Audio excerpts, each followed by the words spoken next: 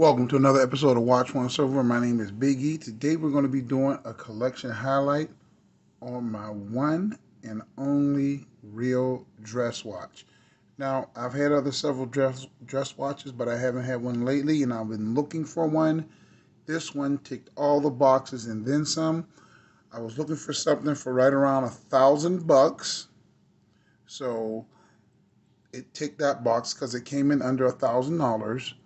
Um, it has 50 meters of water resistance. It's a great size for my 7.25 inch wrist, and we'll get into that in a second. And the watch is just a lovely watch, and it truly punches above its weight. This is a company called Mido. It's under the Swatch Group brand, and if you haven't checked out these Midos, um, this is a really seriously great value for anyone who's looking for a good watch. These watches are great quality. I want to set them um, slightly um, under Longines, or maybe even with Longines on a couple pieces, but above your Tissot's and your Hamiltons. Now, this watch is a chronometer Jubilee, and it really, really keeps great time. Now, this is the um, caliber 80 silicone. Now, this watch has a silicone um, hairspring for anti-magnetic um, uh, uh, properties, and it also has a free sprung balance, and it's regulated with a laser from the factory. You also get 80 hours of power reserve, and this watch has been sent in uh, for chronometer uh, status. Okay, so you see chronometer caliber 80 SI for silicone um, hairspring. Now you get Geneva striping on this watch, and this is an ETA movement, 21,600 vibrations an hour. It has a quick change date.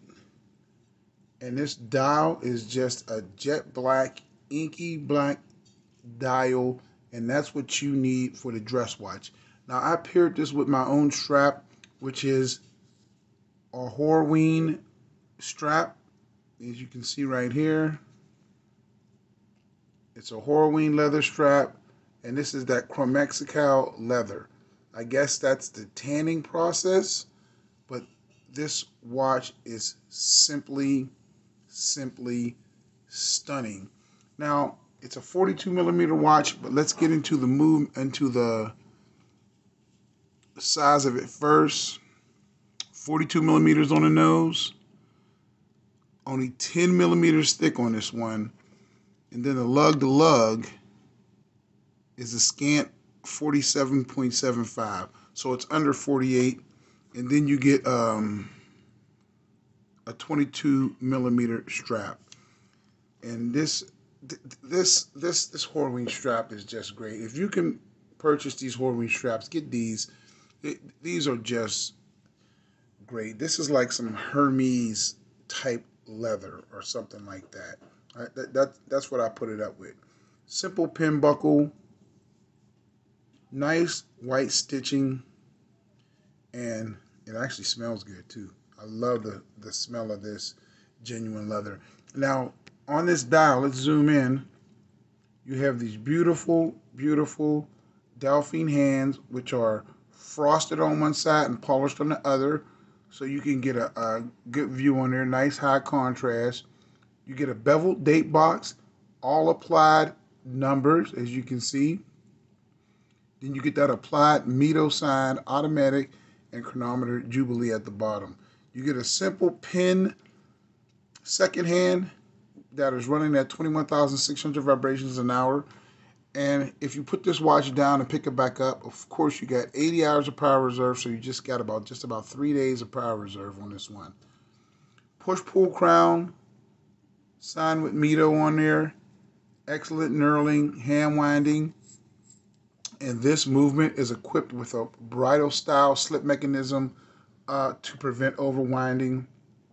And you also can see this is also has those thermally blued screws. See that?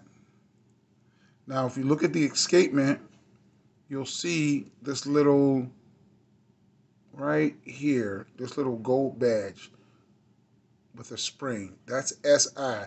That denotes that this is equipped with the silicone uh, hairspring in there. So it is truly an anti-magnetic um, high-tech escapement, great movement, and this will last for years. And since it has a slower beat rate of 21,600 vibrations um, an hour, that means uh, a lower amount of uh, servicing too because the movement isn't running as fast. Now, this does include uh, hacking and a lot of expensive, more expensive watches, Vacheron Constantin, Holy Trinity watches, AP, they don't even have hacking. So that's another plus. And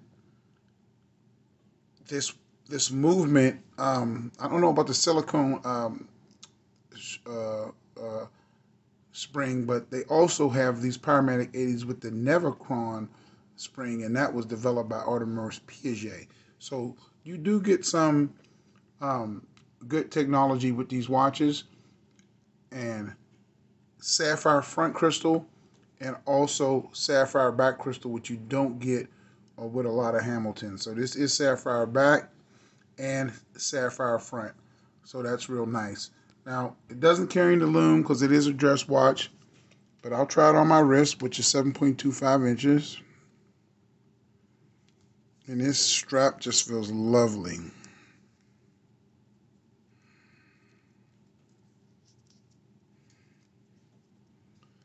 and that's what it looks like on my wrist. I think this is a perfect dress watch. I like it. It looks great. It's not overdone. It can fit in anywhere. And I just think it's a beautiful watch. Great lugs, excellent case polishing, beautiful jet black dial, applied Arabic numerals, beautiful, frosted and polished Dauphine hands, and a simple date box that was done right with a black date wheel that matches the dial perfectly with white printing. I don't think you can go wrong with this Mido Baroncelli chronometer Jubilee. Let me know what you guys think about this one. My name is Biggie, and this is my new dress watch. And this is what I recommend everybody get. I'll talk to you guys later. Please subscribe. That's the Watch Once Over for today. God bless and have a good one.